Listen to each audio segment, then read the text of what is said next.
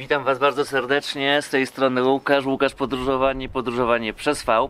Moi drodzy, przychodzę dzisiaj, żeby Was zapowiedzieć, czy zapowiedzieć odcinek. Za chwileczkę będziecie mieli okazję obejrzeć Vantur. Mercedes Sprinter przerobiony na campervana.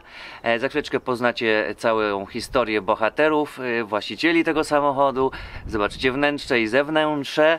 E, A ja tylko chciałbym wyjaśnić, że materiał nagrywaliśmy parę miesięcy temu, czy dwa miesiące temu, jeszcze jak byliśmy w Portugalii.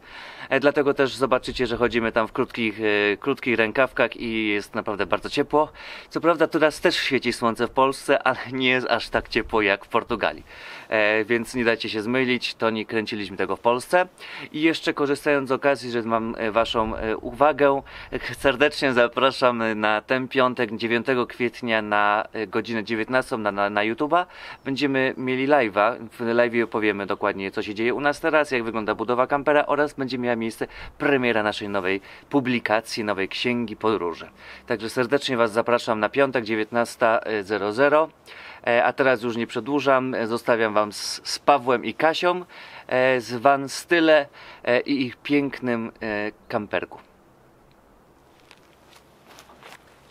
Nie zapomnijcie skomentować i zostawić łapkę w górę, jeżeli Wam się pod- podobał ten Vantur.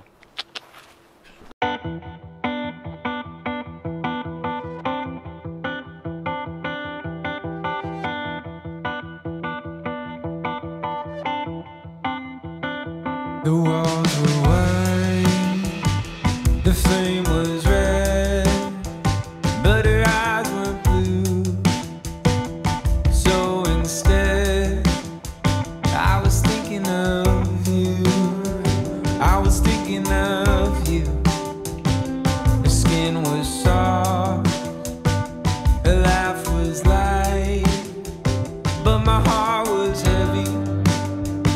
So it was a fight.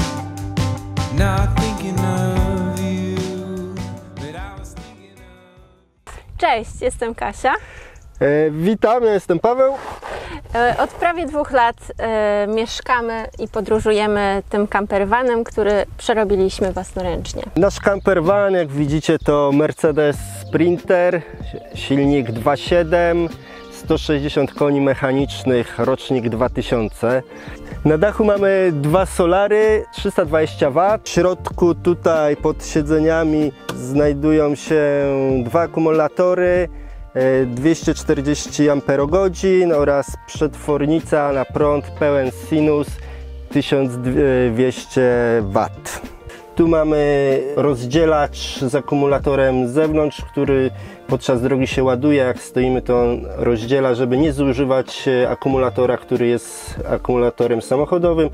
Tu mamy całe 12 V, wszystkie bezpieczniki. Tu mamy 230 i oczywiście e, regulator ładowania MPPT. Fajna sprawa, chodzi na Bluetoothie. Pod Bluetoothem mogę sobie wszystko sprawdzić w komórce, co tam jest. Prądu w tym momencie zero, ale dlatego, że jest podłączona tylko lodówka. Lodówka teraz nie bierze i pokazuje tutaj, ile ta lodówka brała. Praktycznie 100 W. 100 Wh wczoraj, Tutaj mamy wejście do podłączenia prądu z zewnątrz, 230 standardowe jak w kamperach, trochę połamane, bo za blisko drzwi. To jest nowość. Jak byliśmy we Włoszech rok temu, to tego nie mieliśmy. Teraz na ten wyjazd zamontowaliśmy ciepłą wodę. To jest e, podgrzewacz wody, którym bierzemy prysznic na zewnątrz. Różnica jest wielka. Ciepła woda, a zimna woda, zwłaszcza w styczniu albo w grudniu. Tu mamy pompkę, którą podłączamy do prądu i ona pobiera wodę. Ten boiler działa na dwa sposoby, albo zewnętrzne dojście wody, albo no, oczywiście też zewnętrzne, ale podpinamy tutaj pod jakąś butlę i zaciąga pompa sama wodę. Taki mamy namiot pod prysznic, tradycyjny z Decathlonu i takie znaleźliśmy sobie na plaży. Wyrzuciło to morze. Mamy dwa składaki, rowery, bardzo dobrze się spisują, zajmują mało miejsca. Do miasta, gdzieś pod miastem się zatrzymujemy albo w ogóle na takie przejażdżki są rewelacyjne. Często też jeździmy do sklepu z plecakami z nimi. Spędziliśmy teraz na Helu ostatni y, sezon. Tam nie wiem, czy wszyscy wiedzą, jak jest na Helu, ale jest jedna droga i ona jest zawsze zatłoczona. Lepiej jechać rowerkiem, to się szybciej dojedzie niż samochodem. Tutaj mamy dwa włóczniki, jeden 230, drugi 12 volt i światełko na tył. Tak to mniej więcej wygląda. To mamy butlę z gazem, która też jest nowością. Do tej pory mieliśmy taką zwykłą metalową butlę, która jak wiecie w każdym kraju ma inną końcówkę i jest problem z ładowaniem. Często się kończy to, że trzeba mieć inną butlę z danego kraju, więc stwierdziliśmy, że zamontujemy taką butlę. Ona ma to do siebie, że ma blokadę, że odbija. Jest bezpieczna, można ją tankować na normalnych stacjach LPG i ona się ładuje do 80% i odbija, więcej nie ładuje, jest bezpieczna. Kupiliśmy ją w Polsce na Allegro, koszt to jest tam 1600 zł z podłączeniem, znaczy tu się wkręca odpowiednie końcówki na odpowiedni kraj i się ładuje. W tym samochodzie już były te okna jak widać, ten samochód przeszedł historię dość ciekawą, bo na początku był dostawczakiem, później ktoś go kupił i przerobił go na campervana, później ktoś go odkupił, zdewastował i zrobił z, powrotem dostawczaka i my odkupiliśmy i zrobiliśmy z niego z powrotem campervana. Więc to był plus, że te okienka już były. Na górze żeśmy tylko zamontowali wentylator i drugie okno dachowe w tyle. Jak kupiliśmy tego sprintera, to to siedzenie co widzicie było. Tutaj było takie kanapa podwójna, ale żeby Kasia miała wygodniej, no to kanapę żeśmy zrzucili do garażu, a kupiliśmy na Allegro takie siedzenie i jest pojedyncze, jest wygodnie, je, można je rozłożyć. Jak wiecie, kanapy się nie rozkłada. Tutaj wsadziliśmy teraz ro- router, bo tam mamy tak wyizolowane, że router nie ma żadnego sygnału. Pod siedzeniem Kasi mamy Webasto, które zamontowałem dzień przed wyjazdem.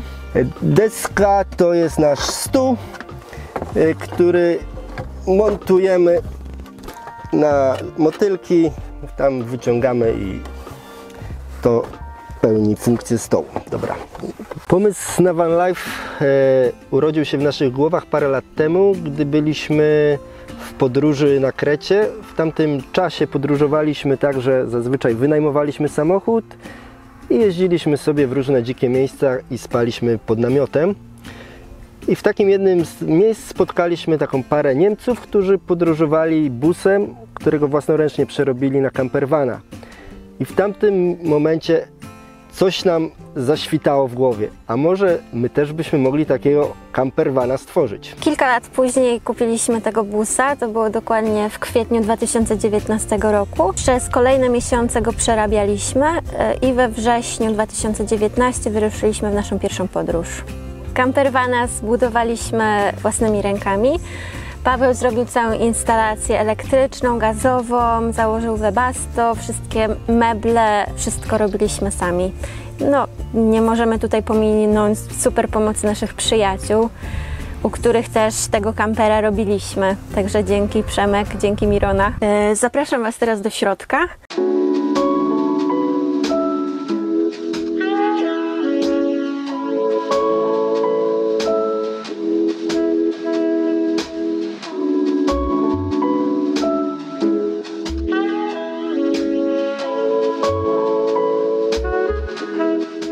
Jesteśmy w kuchni, tu jest nasza sypialnia.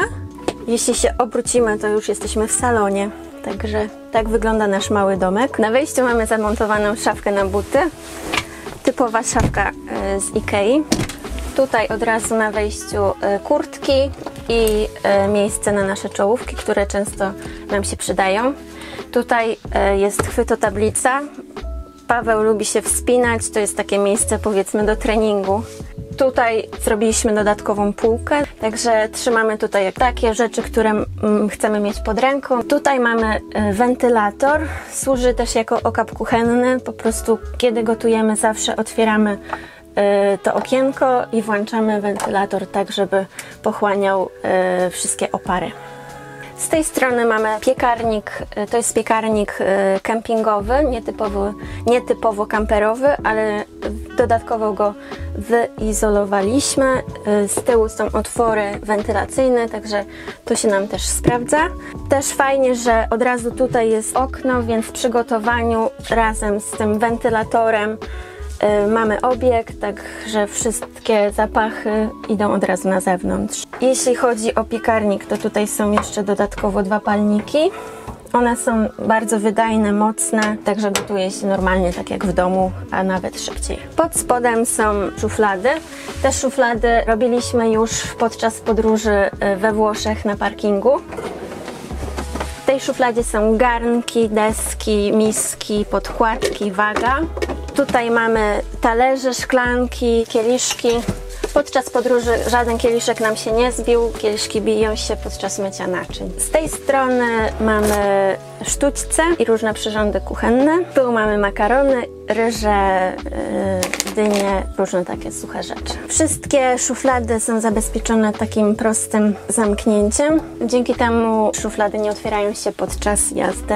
Tutaj mamy lodówkę, lodówka kompresorowa. Wcześniej mieliśmy e, lodówkę absorpcyjną, która pobierała za dużo prądu, więc taka była ostatnia zmiana. Żeby ta lodówka nie wyjeżdżała podczas drogi, mamy taki prosty patent na pas.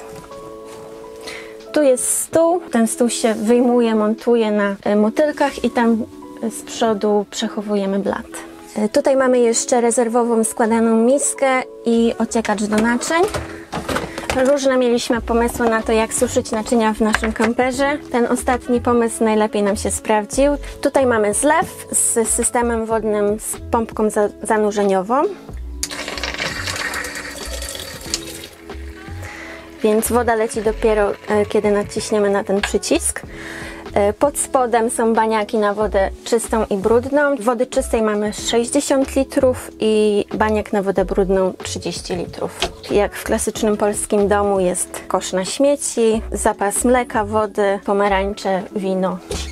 Tu zamontowaliśmy dodatkowe oświetlenie do przestrzeni kuchennej, także jak gotujemy, zawsze jest tu światło. Tu mamy trzy szafki e, kuchenne, zestaw do, do parzenia kawy, e, jakieś przekąski, sól, oliwa, e, przyprawy, środki do czyszczenia, blender i pojemniki plastikowe i zapasowe kieliszki dla gości. Z tej strony mamy dodatkową przestrzeń do przechowywania. To są takie różne książki, lighty, świeczki, coś na komary i rzutnik, do, który wykorzystujemy przy seansach filmowych w kamperze. Ostatnia szafka to jest szafka łazienkowa. Tu przechowujemy nasze kosmetyki, różne najpotrzebniejsze podczas podróży. Tutaj mamy dodatkowe gniazdka, tutaj jeszcze jedna szuflada na drobiazgi. Yy, Na pokładzie mamy też czajnik elektryczny, co może być dość e, dziwnym rozwiązaniem, nietypowym, ale on się nam sprawdza w momentach, kiedy mamy nadprodukcję prądu. On działa na 800 W, także mamy wystarczająco energii, żeby go zasilić. Tutaj mamy dodatkowy patent, projekt autorski na izolację naszego wana. Jak jest zimno na dworze i nie chcemy, żeby tutaj się woda skraplała, wkładamy tutaj takie zabezpieczenia dzięki czemu mamy ciepło w wanie. Mamy też zasłonki. Y, Jest też zabezpieczenie na okno dachowe. I dodatkowa izolacja tutaj na te prześwity od podłogi, bo stąd najbardziej wieje. To wkładamy w ten sposób. Ważne jest, żeby w wanie zakryć wszystkie miejsca, gdzie się może skraplać woda. Dlatego okleiliśmy też te miejsca przy oknach taką pianką. Tu mogę się pochwalić, bo wszystkie poduszki i pokrowce szyłam e, własnoręcznie. Jestem amatorem e, krawiectwa. Pod spodem tutaj kryje się nasza awaryjna toaleta kasetowa i chemia obok. I tu jeszcze kryje się nasz schowek. Dorobiliśmy taką spiżarnię. Bardzo dobrze się tutaj przechowują warzywa, bo jest idealna temperatura zarówno latem, jak i zimą. Tutaj mamy włączniki do świateł i tutaj dodatkowo e, nad łóżkiem mamy system dotykowy. Postanowiliśmy, że nasze łóżko będzie e, łóżkiem na stałe. Mamy tutaj pełnowymiarowy materac e, sypialny z Ikei. Obok łóżka mamy dodatkowo okienko. Roboczo nazywa się to okienko detektywa, bo za każdym razem, kiedy coś słyszę i coś mi nie pasuje, to sobie tutaj zaglądam, bo to jest moja strona łóżka. Tu przykleiliśmy mapę e, świata ze sklejki. E, Jej sami nie wycinaliśmy, zamówiliśmy w internecie. Tu jest e, nasza garderoba. Ta szafka jest Pawła, ta jest moja. Żeby szafki się nie otwierały podczas jazdy, mamy takie zatrzaski i to póki co nam się sprawdza. I tu ostatnia szafka wspólna, e, też na ręczniki, pościel, różne takie rzeczy. Tu mamy jeszcze dodatkowo okno dachowe. Ono jest bez wentylatora, ale jak otwieramy e, daszek i to boczne okienko, latem jest fajny przewiew. Teraz jest to wszystko zaizolowane. E, Po kilku miesiącach podróży naszym campervanem okazało się, że ta część jest najbardziej narażona na skraplanie się wody i od drzwi najbardziej ciągnie e, zimno. Dlatego postanowiliśmy e, zrobić tą ściankę. Ale nie chcieliśmy zrezygnować z pięknych widoków, dlatego to rozwiązanie z okienkiem, które jest zamykane plexi. I teraz nawet jak wieje, e, tutaj tego nie czujemy. Naszą pierwszą destynacją były Włochy. To głównie ze względu na to, że właśnie tam studiowałam na Uniwersytecie w Salerno, ale właściwie Włochy są z nami już od wielu, wielu lat. Włochy to dla nas dobre jedzenie, dobre wino, piękne miejsca, wspinaczka, także właśnie tego szukaliśmy w naszej pierwszej podróży. No i również teraz te nasze pasje wyznaczają nam kierunek. Często trafiamy do naprawdę pięknych, niebanalnych miejsc właśnie przez to, że szukamy miejsc, gdzie moglibyśmy się powspinać. Albo chcemy poznać e, kolejny region winiarski, e, czy to we Włoszech, czy to w Hiszpanii, czy w Portugalii. To są takie główne elementy. Będąc we Włoszech, mieliśmy okazję uczestniczyć w winobraniu.